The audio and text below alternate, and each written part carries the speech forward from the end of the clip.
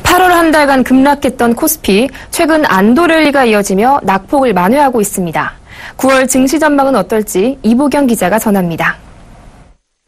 8월 한 달간 200포인트 넘게 급락하며 1800선까지 내려왔던 코스피.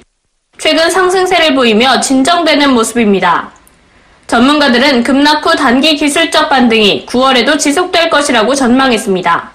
대신증권은 코스피의 9월 등락 범위로 1850에서 1980선을 예상했으며 KDB 대우증권은 1850에서 2000선, 한국투자증권은 1860에서 2000선을, 유진투자증권은 1870에서 2000선을 제시했습니다.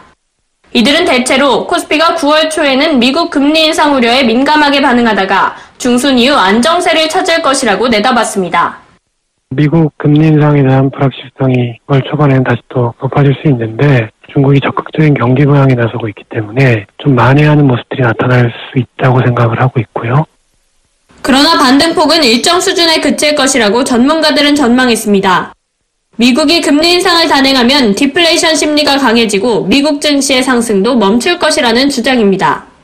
FOMC 앞두고 있는 상황이기 때문에 전후로 해서 뭐 미국 금리 인상 가능성 또는 뭐 금리 인상 단행한다 그러면 그로 인한 뭐 이머징 마켓하고 한국 증시에 뭐 추가적인 충격, 우려감은 여전히 있다라고 좀 보고 있습니다.